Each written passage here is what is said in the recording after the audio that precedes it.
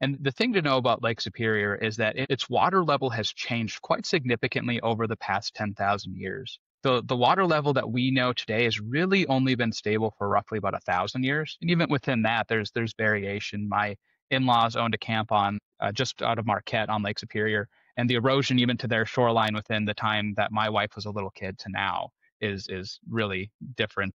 With with the the shorelines with those past 10,000 years is the lake level's gone up and down.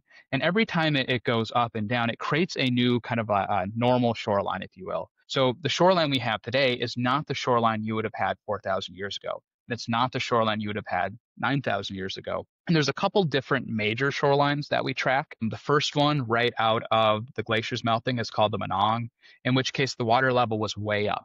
Now, most of Isle Royale was underwater. A lot of the surrounding areas were underwater, and there's really just this kind of just spine that's sticking out of the water. Now, it was like that for a while, and we're not talking 10, 20 years. We're talking hundreds of years, sometimes thousands, that these lake levels would stay at least close. Even within that period, it would vary, but they would, you know, they would wash against the shore, and they would create a pronounced uh, relic beach, essentially the beach that is left behind when the lake level changes.